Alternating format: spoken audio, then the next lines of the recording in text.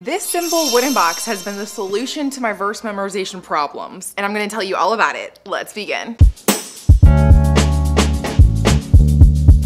November 16th, 2009, I'm on the school bus with my best friend next to me. And my friend says to me, but I thought your life was perfect. You see, I had just told her all about my sister completely rebelling. She had been this perfect Christian girl starting a Bible study in her public school and getting awards like highest GPA or most beautiful. And then all of a sudden she decided that kind of life wasn't good enough for her. And she wanted real life. And so she started rebelling. And my parents spent their 401k sending her off to boarding school, only to realize once she was sent off that they have no semblance of a marriage left over. They had spent all of their money, all of their energy worrying about her, and they had nothing left for themselves or their marriage. And so there I was on the school bus explaining to my best friend how in a matter of months my entire life had fallen apart. And there she was looking at me from the outside going, I thought you had it all figured out. And if I'm to be honest with you, I felt the same way too. I thought I had all the answers.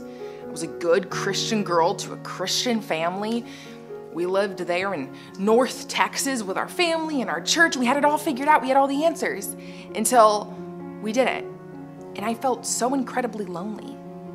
With my newly divorced parents, Jesus hadn't been enough for my older sister.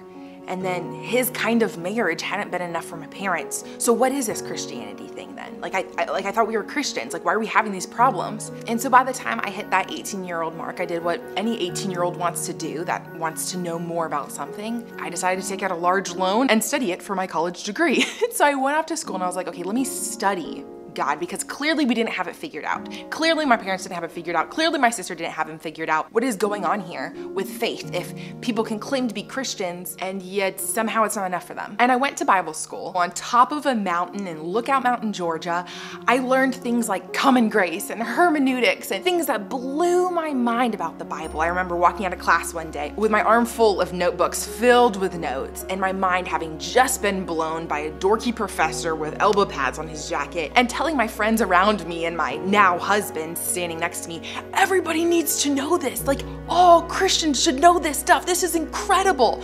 And them all giving me blank stares, like, okay, Faith, you're crazy. But I came to realize there in college, though I knew him and was studying him academically, and a lot of my questions about how to read the Bible were being answered, that still didn't mean my life was gonna be perfect. And I found this out through struggling with overexercise and undereating. I realized that though I may know something, knowing something is very different. And knowing something should impact what I eat or don't eat, when to say stop on the treadmill. So there I was at Bible school, learning all of these big lessons about faith and academically knowing God and then knowing Him with my life, but also seeing this dissonance of still being a broken sinner. So then needing to go back and make sure I know Him with my faith. And all of a sudden, before I know it, I'm standing in line with a cap and gown, ready to cross a stage and receive my diploma. My husband is standing behind me, and we're about to be rewarded for one of the greatest achievements that we had achieved at that point in our life. To receive a degree in studying the Bible, and I realized in that very moment one of the most scary things I've ever realized. I realized, man, I, I took out loans, I, I just spent four years studying this thing, and all I learned was just how little I know. And there, my 2009 self felt the exact same way. What is this Christianity thing? I've now studied him. I, I thought I knew what it didn't look like by looking at my family and the way that it fell apart. I thought I knew what it did look like by looking at the Bible, but then it wasn't enough for my own life. Like, what does this look like? And so my husband and I graduate college, and then my husband gets a job working as a youth pastor at a small rural church. And I expect that to be the perfect balance between faith and faith and faith in life. But I remember standing there outside of the church one Sunday morning as I'm about to walk into the sanctuary and feeling more lonely than my 2009 self on that school bus did. Because even though I knew him academically, even though I knew him with my husband in vocational ministry, even though I knew him with all these wrestlings and, and healing with overexercise and undereating and all of these the ways that I had known God and was knowing God, I felt more lonely than ever because who really wants to be friends with a pastor's wife anyway? After church that Sunday, I went home and I talked to Joseph about it. And I told him about my loneliness. And I told him about the parallels to how it felt with being alone in my faith back in high school. The not understanding why it wasn't enough for my sister or my parents. Why, why we still have problems like this, like this loneliness. And I sat there on the bed crying my church makeup off frustrated and kicking my legs so hard that my high heels flew off and hit the wall. And he said, Faith, this conversation isn't for me. This is a conversation to have with God. So I walked to the next door bedroom, and there I have this cheap, broken computer, and I turned on the webcam and I talked to God. I talked to Him like He was right there in the room. And I told Him all about my wrestlings with academics, with knowing God versus knowing God. I talked to Him about the questions of why we still struggle, even though we know Him, but we're still fallen and sinful, and, and the questions about loneliness in the faith. If, if there are other believers, we should all be united, and, and, and frustration that it wasn't solving all of my problems, this faith. That video never saw the light of day because I never hit record. So in my second attempt to record this video diary to the Lord talking to him, something in my gut told me, talk like you would to a friend. So instead, I talked like I would to a friend. And I posted that video here on YouTube. And now years later, this has become a community of Bible nerds. And that lonely faith from 2009 is no longer lonely. Am I very crying out to the Lord? He provided a way for me to reach that family of believers who say, This is more than enough for me.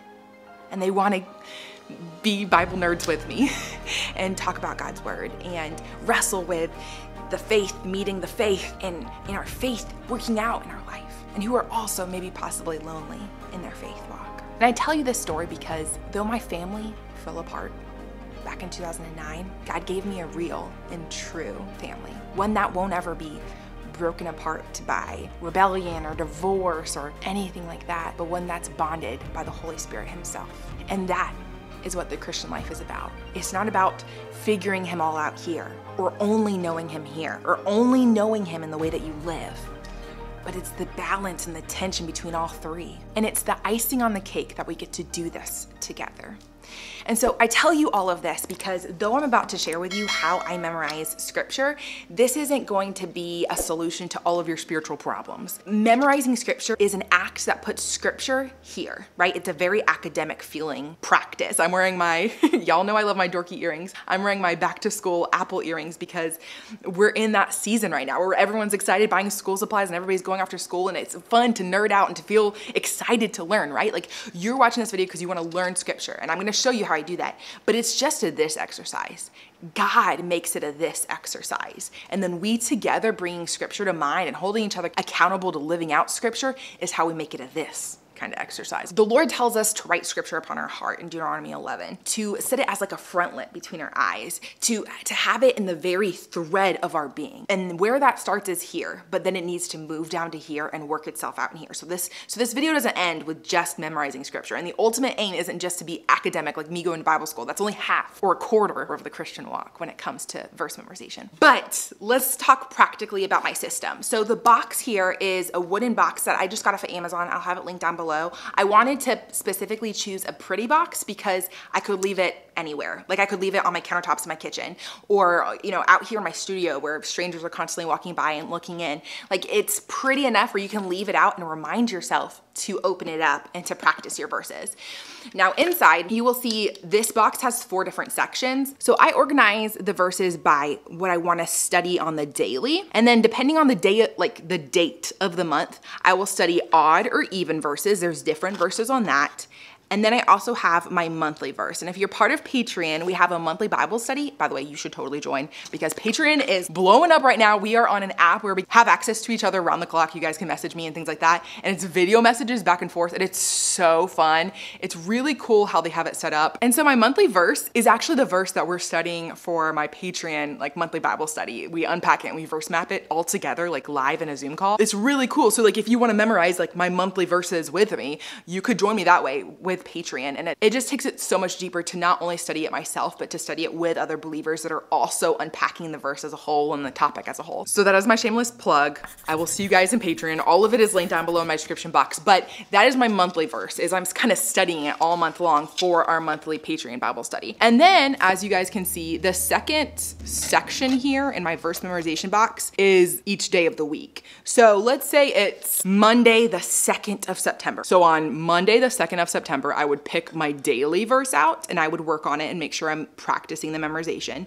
And then it's the second, so I would pick the even one. I would also pick up this month's verse and then I would pick up the Monday verse wherever it is, Monday. And so by doing that, I'm not only working on memorizing new verses, but I'm also maintaining my memorization of previous verses that I've memorized. So when I find a new verse, I'm like, ooh, I need to memorize this, write this on my heart. I put it behind my daily tab. Right now, I think I have like three different verses there. Oh no, I switched them. I only have one right now and it's Psalm 32 verses one and five. I think it was yesterday that I added this to my verse memorization box. And so since I added this yesterday, that meant I moved the ones that were behind the daily, I'd already memorized them, I moved them back to like different days of the week or different months or whatever. But what this does is it keeps you cycling through verses. So you're constantly learning a new verse on the daily. And then also you're testing yourself if you can keep on remembering previous verses. So if you wanna start a box like this, it comes with the little tabby organizer cards, these little white tabby ones. But then also, um, it, I think it came with the colorful ones maybe? I don't know, I can't remember. I would encourage you though to grab seven verses that you've already kind of memorized and mostly remember and put those behind the days of the week tabs. Then if you're working on a particular topic or book or verse study that you kind of wanna shape your month after, I would put that as your verse of the month. And then verses you only kind of know, I would put between the odd and the even so that your daily verse can be something that like is completely new that you're totally starting from scratch trying to memorize. And the best part of this system is it's a visual box out there in the open that I see at the end of my Bible study. So typically where I put my Bible, where I store it, I store it right next to this box. So when I finish my Bible study, it's a reminder, oh yeah, I need to go through my box for the day. And if I'm really struggling with a verse in particular, I won't just go through my box once. I'll actually take my daily verse card out and I'll take it with me throughout the day. Here's one. I don't know if you guys can tell but this is Psalm 43:5 and it's like bent for me carrying it around. I'll like place it by the sink for the evening while I'm doing the dishes or I'll tape it on the mirror and then bring it back to my studio here where I keep my box. So you can shape this around your daily routine. If it's your daily verse that you're really struggling with and you wanna have it in multiple places throughout your house and your office or whatever, you can write it down on multiple different cards, have it at your computer, have it at your sink when you're doing the dishes, have it at um, wherever you fold laundry, whatever, and then you still visit your box once a day. You know, there's a lot of different options to shape around your lifestyle, but because I spend my quiet time here at my studio, I keep my box here. The key to this video is not that you have to do it exactly like me, but to be inspired on some kind of of system to keep you memorizing and staying fresh on your verses. This isn't all academic, but rather for them to infiltrate our heart. Because we believe the Bible's true, we wanna be faithful to God's word and watch as it changes us. The one catch here though is not taking scriptures out of context. And I talk all about that here in this video. So if you haven't seen this video before, you definitely wanna watch that to make sure you're not taking these verses out of context. And I will see you guys in this video. Oh, and click here if you wanna join Patreon. Bye guys.